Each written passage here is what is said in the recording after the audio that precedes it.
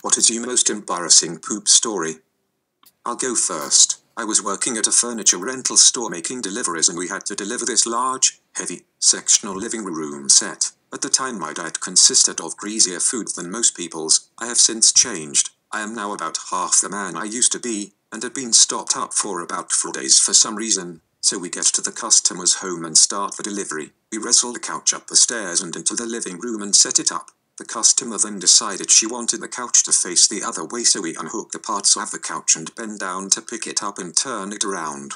At that moment it all comes out with the biggest wettest sounding fart you had ever heard. A surge of brown greasy goo slides out of me and into my pants and all I can do is run out the door. The look on the customer's face was the purest form of WTF I had ever seen. No throwaway account because I'm a man. I began the day an average employee of a Fortune 500 company in the Upper East Side of Manhattan. By 6 p.m., I was wandering Times Square, bathed in my own shit, with no way to get across the Hudson River to my home in Jersey. Let's go back to the beginning. I wasn't feeling all that well, but went to work anyway that morning. I almost made it through the day. As I was finishing up, my stomach started to churn, and I headed for the restroom. I made it into a stall, fade to black. Next thing I know, I woke up on my knees, my head against the inside wall of the stall, feeling like I'd slept for hours. It was probably only about 30 seconds since I passed out. After briefly passing out a second time, I stood up to assess my situation. Sweat was pouring off my forehead,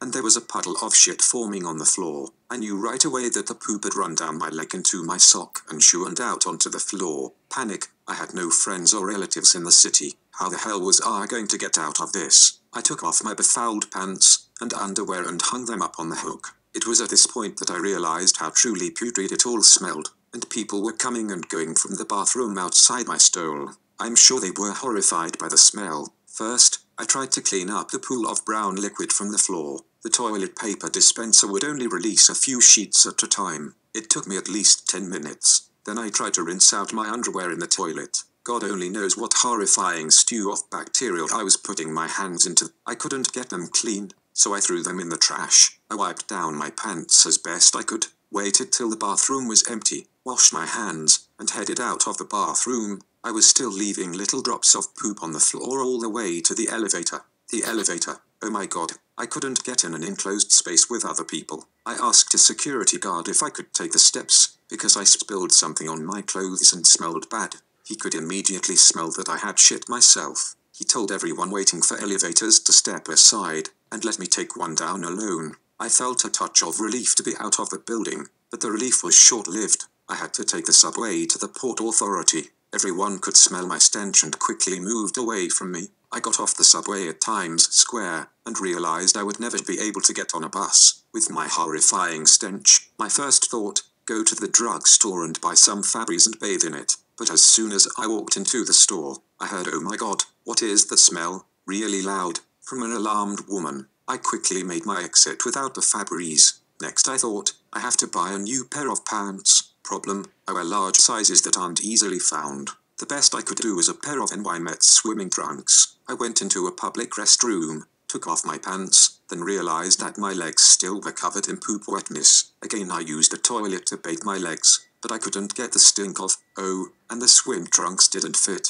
Next thought, I would offer a cabbie $100 to drive me through the Lincoln Tunnel. I flagged one down, and explained that I had an accident and would pay him $100 to drive me the mile or two to Jersey. He quickly rolled up his window and sped away. My brother-in-law lived in Jersey. I called him. No answer. I sat on the steps outside the Port Authority to plot my next move. Try to get a shower a homeless shelter? Buy a room for the night at a dive hotel? I thought about going to a laundromat and washing my pants, but what would I cover myself with? And my legs would still stink, even in clean clothes. I did ask the laundromat manager if they could sell me some pants that maybe someone left behind. No dice. Should I call the cops? Kill myself? Wait till morning? And, and, and what? I called my brother who lives three hours away in Philly. He came and picked me up, two towels on his passenger seat, and drove me home. I put my clothes in a trash bag, including my leather shoes, the stink would never come out, and took a long hot shower. Worst day of my life. Stayed overnight at a friend's house a few years ago, middle of nowhere in Oklahoma. Woke up early the next morning, and was feeling a bit unsettled. I made my way to the bathroom and decided to splash some water on my face to wake up a bit before I made myself at home. No water, nada, well was out. At this point, the critical point is yet to hit me, so I think I can wait a while. Stumble to the kitchen, where my friend has just discovered a water shortage situation. Mind you, we're in the backwoods of Oklahoma, and it wouldn't be the first time I've ducked around a tree, so I'm still not understanding the gravity of the situation. My friend proposes to drive down the road to her grandmother's house, grab some jugs of water. I make plans to camp out in that bathroom. Grandma's house is a few miles down a bumpy dirt road, during which I start to feel more alarmed. Lower bowels are churning like I've swallowed a box of Alka-Seltzer. I strongly encourage speed. Grandma's pump is out too. Damn it, Oklahoma. At this point, I realize the tree is gonna be my best option. I grab a spare roll of paper and run for it. Don't make it. By the time I barely exit the house, an explosive shitstorm happens and I am covered in poo from the waist down. Boots full too. So, I'm stripping in the backyard, behind a tree, begging for towels. Idiot friend cannot stop laughing. So, covered in poo, no shower possible. Grandma loans me a few towels, and I ride in the back of her stupid old farm truck down the road to the creek to wash off, while stupid friend goes back to her house to pick up my bag. I've got two, neither of which are actually mine, but they are still entertaining. My college roommate just finished eating some bad food at the dining hall and was walking to class. I guess something didn't sit right with him, and as he was walking he suddenly really had to shit. He tried to make it to class, but at some point he realized he wasn't going to make it, so he headed towards the library, which was the closest building with a bathroom. He couldn't run because if he did he'd poop himself, so he was doing the speed walk where you squeeze your butt cheeks together. Unfortunately, he pooped his pants before he could make it. This was an important class that he couldn't miss, so he went into the bathroom, cleaned himself as best as he could, threw out his boxers, and went to class with no underwear. My other friend from college brings home this girl one night. After they've gone to sleep, kid poops himself in the bed. I'm not quite sure why or how, but it happened. He felt so embarrassed and he didn't know what to do, but luckily the girl was still asleep. He moved the girl ever so gently so that it looks like the turd came out of her butt. He then leaves to go to class and doesn't mention a word. These dorms are suites for four people, two rooms connected by a bathroom. Apparently, the suitemate said that the next morning when he was brushing his teeth, he heard the girl wake up and leave the room crying. Okay, so out drinking with buddies one night, and I meet this girl, do some flirting and get her digits and proceed to head to several of the bars for a pretty epic night of meeting women and partying. Eventually the night winds down and I find myself heading out into the night on my own to return home in fairly unfamiliar territory. As I woke, I suddenly realize the urge to shit is becoming unbearable. I'm walking through the city of Chicago and am somehow far from bars or restaurants or anywhere that would have a toilet, and I realize I'm just not gonna make it. So, being that the night was over and my buddies had head home, I figured I'd just squat in an alley, drop a juice, and wipe with anything I could find. Well, I wasn't really able to find anything sanitary to wipe with, so I end up taking a rather messy shit and have to wipe with my hand. I proceed to wipe my shit covered hands on the ground and kinda laugh off the situation, figuring I'll just go shower when I get home and chalk this one up to experience. But then, I get a text. Wanna hang out? It's the girl I met earlier. This was around 4 am or so, and a clearer signal of booty call could not be made. I could no more turn down this call for late night ass than Batman could ignore the bat signal. She tells me the bar she's at, and I take a cab there, smelling like shit, shit on my hands, soaked in my boxers, with only a vague plan of how I'm gonna handle this. I arrive at the bar, knowing my first order of business is to bum rush the bathroom undetected by her. I successfully infiltrate the facilities and dispose of my boxers. They were unsalvageable. I wash my hands off and try to clean up as best I can. I leave the bathroom and find the girl wasted. As we chat it up, I'm hoping I don't smell of shit. But to conclude, my friends, I'll tell you I hit that Colombian ass from behind and I hit it good. I never had a girl I met the same night call out my name in bed and this Hispanic vixen was crying for me to give it to her by my name. It was epic. It was so good before I finished I blurted out I love you. Crazy as it was it turned on even more. The next morning when I left I saw shit stains on my jeans and just laughed. Good times, good times.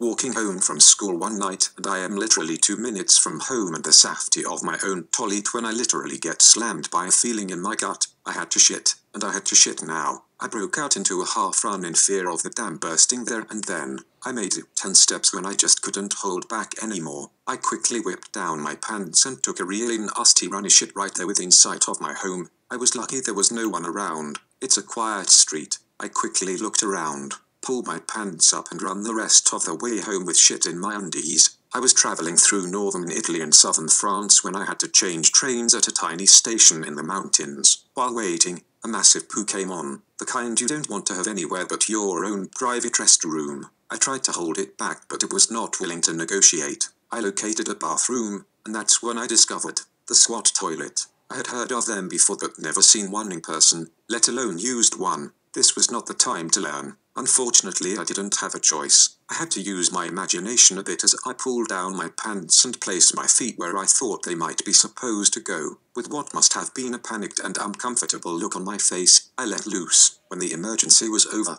I looked down to check out the damage. A portion of the poop landed where I thought it was meant to go. The rest was on various parts of the absurd contraption that half the world considers a toilet. I wiped with some paper towels from the sink area and headed out to catch a train. I had to have a follow-up deuce on the train, which was a real relief. TLDR had to poo, found my first squat toilet.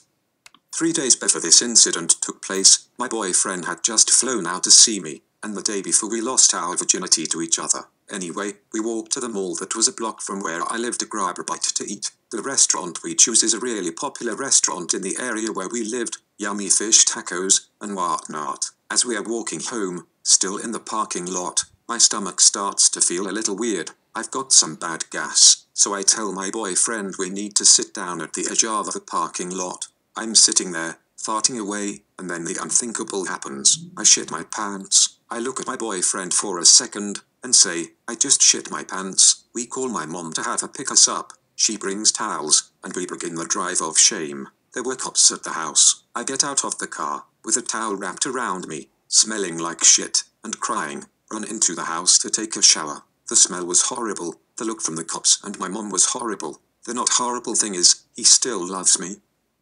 I wrote this one down at the request of my family. It was pretty funny. This adventure begins with a long day at school. Like most days during my years of college, the overwhelming majority of my time was spent busting my sorry ass to get decent grades. As was custom, I got home with enough sunlight left to go for a run with my dad down at the Chattahoochee River National Park. In particular, the Soap Creek entrance to the trails. On this day, I got home from school probably around 4 p.m. and got right to the good stuff an enormous glass of chocolate milk. I can't even begin to describe quite how amazing chocolate milk tastes when you're tired and thirsty. You'll probably disagree, but fuck off. It's amazing, and I was more than happy to pour my quart and a half of milk into a gigantic cup with ample Hershey's syrup in the bottom. I chugged that stuff straight down, probably an enormous smile on my face, and told my dad to give me 30 minutes to digest so I wouldn't feel sick on the run. At this point, you, the reader, are probably thinking, holy shit, how stupid are you 30 minutes isn't enough time.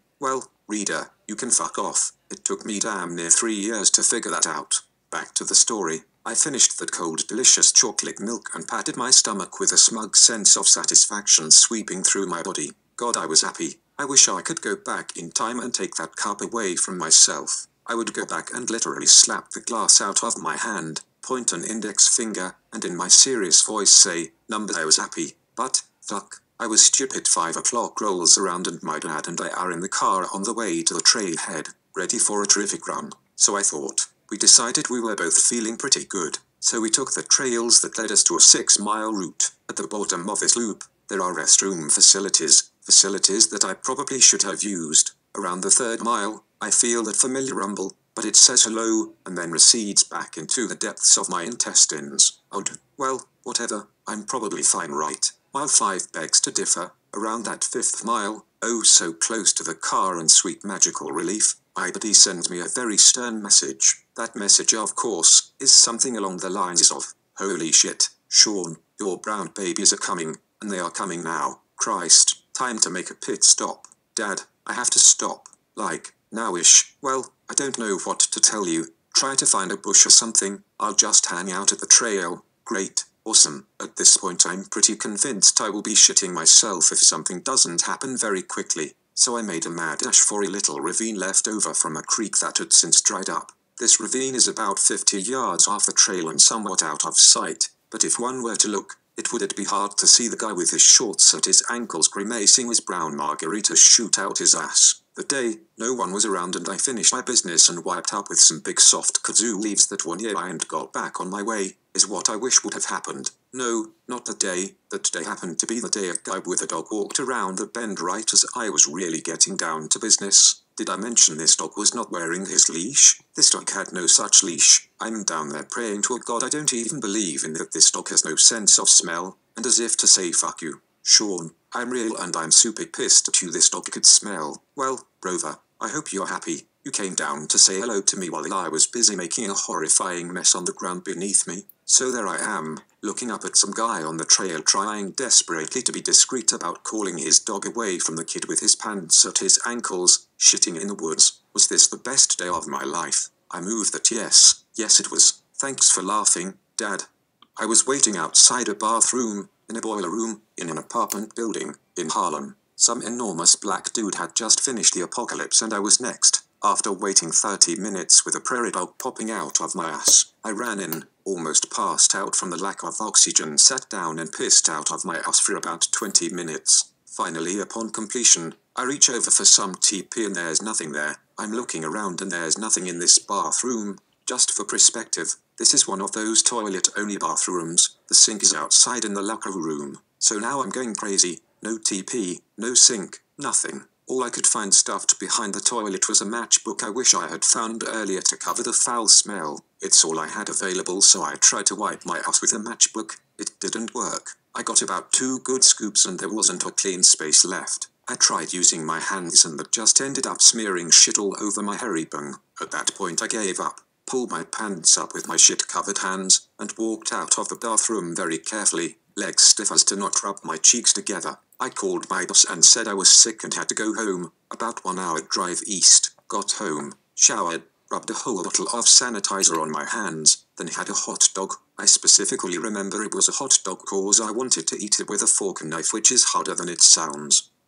My anxiety used to be so bad that it caused me to have episodes of vibes. At the time this was going on, I was driving back and forth between Auburn, Alabama and Mobile, Mobile, not mobile, mm. on an almost weekly basis to visit my then girlfriend who was going to college in Auburn. One weekend on the way back, I was on a long stretch of interstate when the pain hit. I was more than eager for relief before things got too nasty. I once had blurred vision and knocked over a shelf in a gas station, on separate occasions, as a result of the pain. Thankfully, I found a rest stop no more than 20 miles or so after it started. I pulled in as quickly as I could in and ran to the bathroom where I was about to unleash fury upon the toilet. The place was, thankfully, desolate, as I have pooping anxiety as well, and I just hurriedly chose the first stall as a default. No more than ten minutes in, I hear the door creak open. Oh, God, I say to myself. The offender is obviously a semi-truck driver with a hefty redneck belly, no doubt as a result of one too many Wendy's burgers. I can tell by his heavy breathing. My hopes of him using the urinal or one of the last stalls were shattered as I watched his workbooks pass in front of my stall and decisively into the one right beside me. Why not further down? I plead to myself as if he'll somehow sympathize. At this point, I can't shit anymore. I'm too terrified to make a sound. Why? I don't know. Don't ask me to explain my anxiety of others hearing me shit. It's normal, I think. His labored breathing continues as my brain makes note of every fucking horrible sliding sound and pneumatic push of his intestines. I can clearly hear his sticky logs sliding out of his ass as he grunts, dropping with a large splash into the toilet, and of course the ever familiar sound of suction as his anus queefs out each turd. The image of shit coming out of two flabby, white, hairy cheeks still haunts me to this day as if I had seen it. He sighs with relief and starts the grunting again. It's disgusting, awkward, and the smell was unbearable. I just sit there in pain for another 10 minutes or so as the grunting cycles continue and wait for him to leave. He finally gets up and leaves without washing his hands. Gross, as I have a nervous laugh at myself and I continue with one of the nastiest shits I've ever taken. I finish up and wash my hands, and while I'm drying, I saw that someone else was in one of the stalls further down that I hadn't noticed before. I got the sinking feeling that I walked in on someone, like me, with shooting anxiety as I hadn't heard any sound from them. Not only that, but the poor guy had to sit through two horrible sounding shits, the latter riddled with my small chuckles of relief followed by a flood of diarrhea from hell. TLDR, awkward rest stop shit by fat trucker. Even more awkward when someone unnoticed in the bathroom hears my noises. Chapter 1 The Shit. I was driving my wife's car home from New Orleans alone and charted while going down I 10. I had had painful gas for the past 30 40 miles, just strained a little too hard, and some shit slipped out. Chapter 2 What to do? I wasn't sure how bad it was. I didn't want to check because of the potential of smearing shit on the seat, steering wheel, etc. I knew I could not drive the remaining hour and a half home sitting in shit. I had to stop. I was torn as to which sort of gas station to stop at an nasty one that would disgust me, or a nice one that I may skank up. I opted for one that was somewhere in between. Chapter 3 The Assessment. I waddled into a one stall, one urinal restroom, entered the stall, unzipped, hanged my pants and underwear, and sat to survey the damage. Not as bad as it could have been. Underwear was fucked up, but minimal soiling of jeans. Chapter 4 The Visitor. I was about to unshoe and discard the problem when someone came in and seemed to be waiting for the stole. Chapter 5 Stealth Disposal Poor gas station attendant. I didn't want it to be evident what I was doing out of shame, so I took out my pocket knife and very quietly cut off my own underwear. I masked the cutting noise by pseudo grunts as a fake to shit. No way in hell was I pocketing them or carrying them out in my hand. I thought it would fuck up the toilet to flush them or stash them inside the tank. I thought sandwiching them between the tank and the wall was the most responsible answer, so that's what I did. I wiped up, flushed, pulled up my pants, walked out, and gave the shitter in waiting a nod as I passed him on my way to the sink. I walked out of that restroom commando style, feeling that I'd done the best I could with a literally shitty situation, but at the same time marred in guilt over six slippery present I'd left for other patrons to smell and the attendant to clean. Not really that embarrassing since you fine idiot folk are the only people that know. A friend of mine goes out to the bar, gets absolutely hammered, and ends up hooking up with some girl at her house. They both pass out immediately after sex, naked. A few hours later, friend wakes up and realizes that he shit the bed. So, he does what any other total genius would do, takes some of the shit and wipes it on her butt crack, heads to the bathroom to clean up, and then gets the hell out of there before she can wake up, making it look like she was the one responsible for the bed shitting. Edit. Looks like whoever told this to me may have stolen the story from somewhere else, as pointed out in the comments below. I certainly didn't mean to fake anything, just a story that was told to me long ago by a, possibly lying, friend. Alas, still a good story, if it did actually happen to somebody, and if not, definitely something to remember for the future.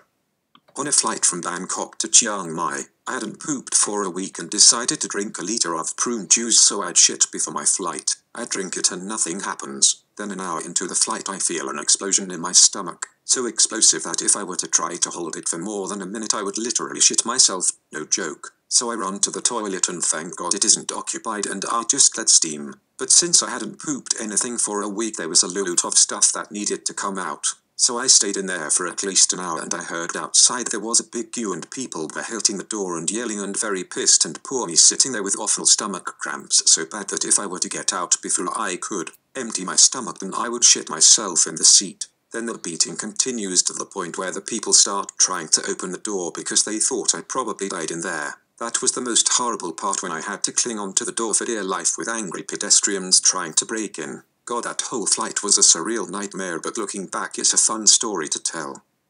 The band was playing a gig in a crappy dive bar just outside of Kansas City. I had been surviving on a diet of gas station sandwiches, McDonald's, and PBR for about two weeks. We load and do the sound check. Everything is ready to go. When I get the urge, I check the bar's bathroom, and true to form, there is just one urinal, a toilet, and a door that doesn't look. The drummer and I usually were willing to stand guard for each other in situations like this, but he had just sat down to eat the free food from the bar, and after a week or two of eating crappy food, I couldn't interrupt. Across the parking lot was a McDonald's, so I made a break for it. On the walk across the tarmac, I have the grumpy tummy going full bore. I have to be on stage in 20 minutes. I simply don't have the time to shit myself. I cut past the playground, and to the back where the bathrooms are through the door, into the stall, only to find a toilet that looks like it's already clogged, murky brown water, and even though it's only six inches deep, you can't see the bottom. I don't have a choice. drop the pants, and was almost done by the time the butt hits the porcelain.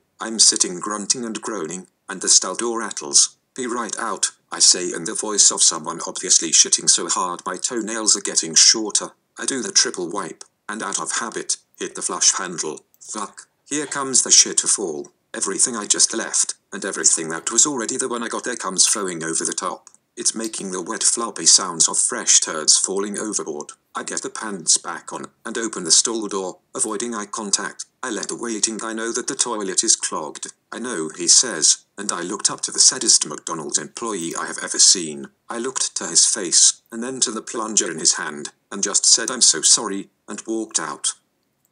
I was out hitting some range balls when I got a powerful urge to take a dump. However, the driving range had no bathroom. I leave my clubs there and hop in my truck and floor it to a gas stop about a mile away. I run in trying to maintain a sense of normalcy, but any sharp-eyed human would easily know that I was about to explode. I make it to the BR and both stalls are taken, so I wait about 10 seconds before deciding to drop a juice in the urinal. I do my business, listening to the guys in the stalls laugh as they realize what I'm doing and wipe with a few hand towels, but just as I'm pulling up my pants, a dad and his son walk in and see what I've done. My face was red as fuck and clearly the son would need a father-son chat after that. I booked it out of there no knowing what else to do, grabbed my golf clubs and made a shameful trip home listening to R.E.M.'s everyone hurt a few times.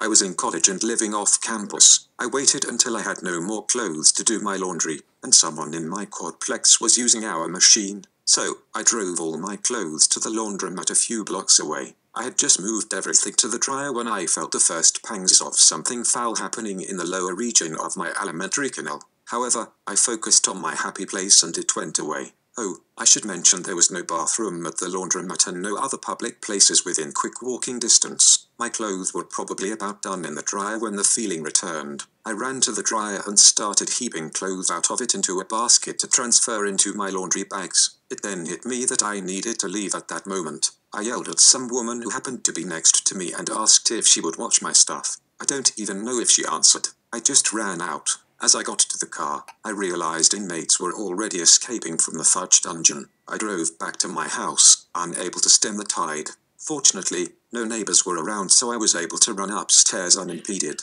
I stripped down and took a dump that knocked the breath from my lungs. Then I took a quick shower. It was then that I realized that all my clean clothes were back at the laundromat, and I would have to wear the underwear and shorts covered in doo-doo butter to retrieve my clean clothes. I walked into the laundromat and made eye contact with no one. They all must have known from the smell what had happened. I retrieved my clothes and left, walking into the sunset never to return.